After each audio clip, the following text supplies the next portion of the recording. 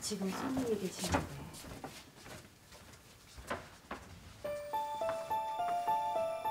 무빈아,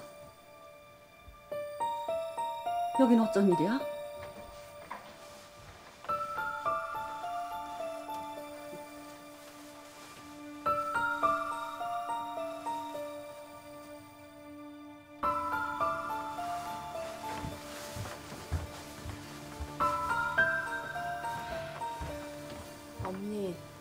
절 받으세요.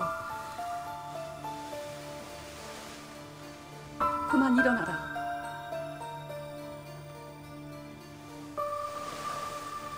니들 이런 식으로 계속 만나고 있었구나. 사모님, 예. 뭐가 어째? 아닙니다.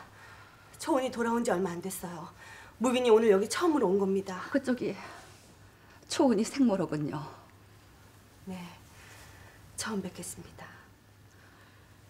알만한 사람이면 다 아는 유명한 무당집이 바로 여기였구나. 엄마와 딸이 함께하는 무당집. 어머니, 왜? 내가 틀린 소리 했니? 눈으로 보고도 여기가 오고 싶어? 내가 초혼이 안 된댔지. 그 이유가 바로 여기 있는데 아직도 정리가 안 돼 이 못난 놈아. 진정하세요, 어머니. 어머니라 부르지 마라. 여러 소리 안 해도 네 처지가 어떤지 네가 더 잘할 거라 믿는다. 초은이가 어때서요? 초은이 초은일 뿐이에요. 닥치지 못해? 사람들 사이에서 소문이 자자한데 어느 쪽이 더 영험한가요? 그쪽이에요? 아니면 초은이 너니?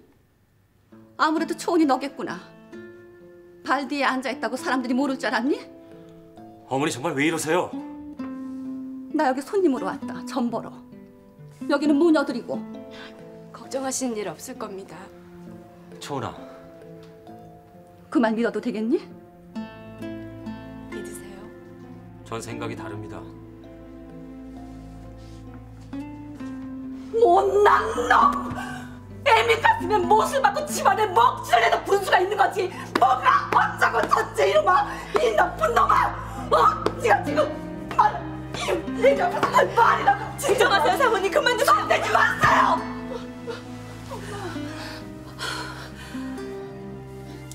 다시는 풍파 일으키지 마라 내가 봐주는 것도 여기까지야 가 어서 앞장서 안녕히 가세요, 어머니. 어디서 만나든가 앞으로 어머니란 소리 하지 마라. 남들 알까 두렵다. 뭐해? 당장 나오지 못하니? 그만 가세요.